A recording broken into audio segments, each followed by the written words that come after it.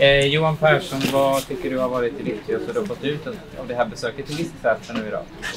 Ja, men det är ju att modiga församlingar jobbar tillsammans. Att eh, visa på att människor kan ha olika tro. Men man fokuserar på det som förenar och inte det som splittrar.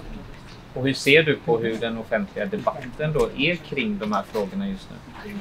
Ja, men den är ju högljudd i vissa kretsar och, och inte minst så kan det bli högljutt i, i olika former av media. Eh, men det här är människor som tar sitt eh, samhällsuppdrag som trossamfund på största allvar. Som vill bygga gemenskap och bygga framtid och fritid och trygghet eh, i Sverige.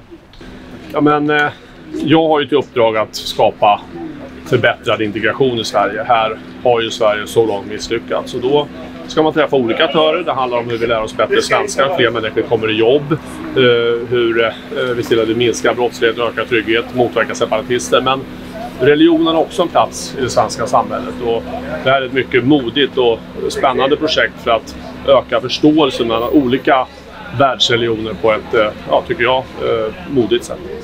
Det har kommit ett läge där det är en stor upprördhet i många länder över de koranbränningar som har skett i Sverige. Hur spelar det in att du var Ja, men vi försöker ju ha en löpande intensiv dialog med religiösa företrädare. Eh, och även som integrationsminister så inser jag att staten kan göra sitt. Regioner och kommuner kan göra sitt. Men också andra aktörer måste hjälpas till. Det handlar om vad företag gör, det handlar om vad, inte minst vad religiösa eh, församlingar gör och trosinriktningar. Och därför är det viktigt att lyssna på dem.